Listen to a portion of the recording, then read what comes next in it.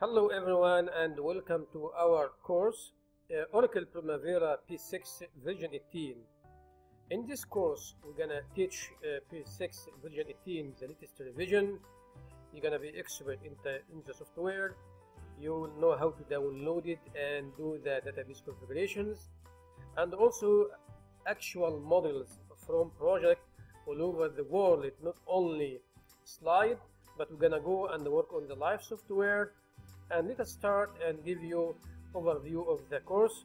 My name Alex El Hindawi project control managers uh, USA California. And also I am uh, uh, instructor for PMP P6 and Six Sigma and Risk. Uh, lecture number one will explain uh, P6 history, uh, the P6 features, tools and the interface and critical path, and CPM techniques and terms. So the intention of this course is, is that you will know how to be an expert in the program. Okay? About the Primavera uh, P6, P6 is a professional planning and control software and it is built on Oracle and Microsoft SQL Server and it is enterprise right now enterprise wide project management. So you can use the software to manage many projects at the same time for a big company that they have portfolios like highways and airport and building. So this is very suitable software.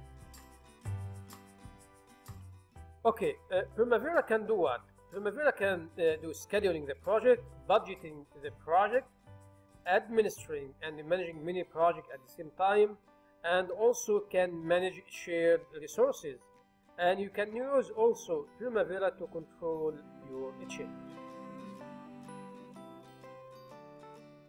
Uh, Primavera structures. Primavera has uh, enterprise project structure called EPS how the company structures divided into many uh, subsidiaries or many companies or something like that. It's called EPS. And also in Primavera, you, are going to have work breakdown structures, WBS. How you divide your project into more manageable component so that you will be able to manage uh, this component. It has also organization uh, breakdown structure OBS that you will add the staffing and organizational chart of the company.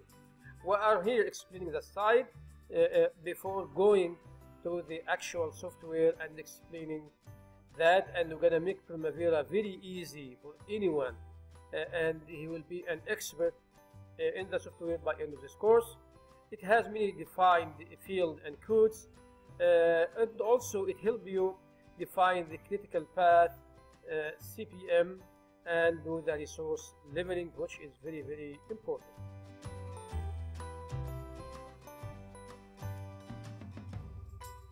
P6 history. P6 goes to 1996 uh, when a small company called Eagle Ray uh, software system and uh, started a shop in New York State in America. And this is, was the start of the program. Okay. In 1999, it releases a Primavera version P3, which is very, very nice version of Primavera, and still some people like it because of the Gantt chart of that. In 2006, Primavera version uh, number 5. 2007, it comes the Primavera P6 version. And after that, P6 version did not change. It just added more releases to P6. P6.7, P6.8, and something like that. In October 2008, Oracle announced that it has entered into an agreement with Primavera to acquire the company. In Primavera, you're going to manage the important resources like money and time and equipment, personnel and materials. And we're going to explain that and we're going to make it very, very easy uh, for anyone Okay. The critical path method CPM is a project management technique for scheduling that define critical and non-critical activity. The critical path is a chain of activity from the start to the finish of the project that has the latest the least amount of load. It could be zero, it, based on the definition and the settings that we're going to show you guys uh, uh, in uh, the live software. Here's a model show how the critical path started from uh, start to finish and how it looks like in, in red and most of the activity finish to start like that. Here's some terminology that are very important for anyone to work on even in project management or anything. Activities is a task you're gonna do when you divide the WBS into more uh, tasks. This is called the activity. And you have also the earlier start, early finish, and late start and late finish. And you have also the duration. Each activity has a specific duration. You have free float. The free float, the time activity can be delayed without delaying the successive activity or the following activity. The total float is the amount of time that activity can be delayed without delaying the project. And it could be measured from late start minus early start or late finish minus early finish. We're gonna uh, go through that. So you can uh, do the, the start, uh, late start minus early start or late finish minus early finish. My advice, because I'm expert in this industry for 25 years, in different projects all over the world. I have done projects more than 100 billion American dollar from highways, airport, engineering, building, and design and constructions. So normally, before going to the software, you have to review the project scope of work. You have to review the project scope of work.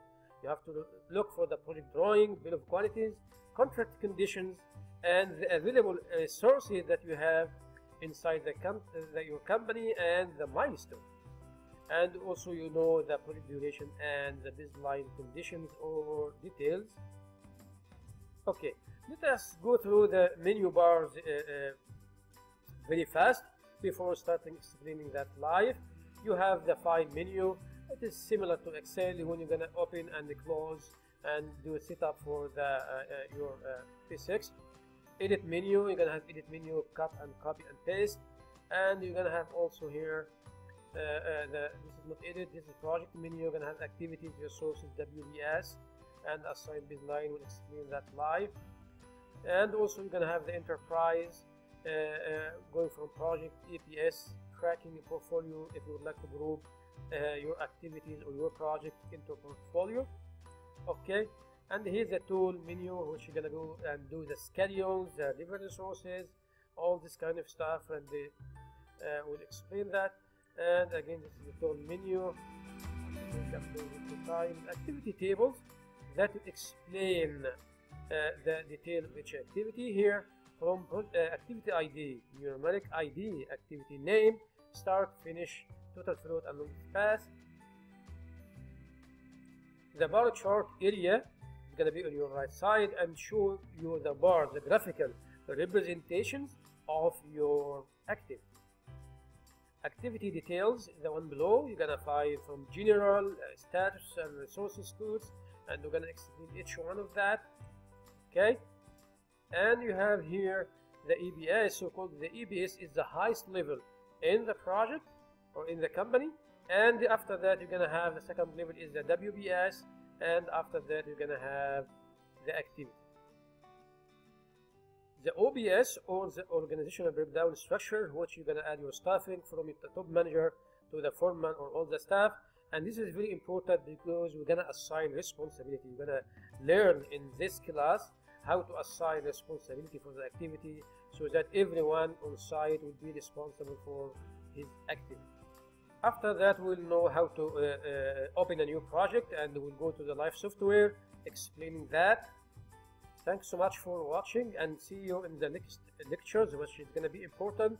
So bear in mind with me, you're going to be an expert and you will like the software more than Excel itself and you're to do everything. You can draw in the P6, you can do the Christmas tree, you can do whatever you want and when you be an expert, you're to do that. Thanks so much for watching. This is Alex Al-Hindawi, Project Control Manager, and see you next lecture. Bye bye.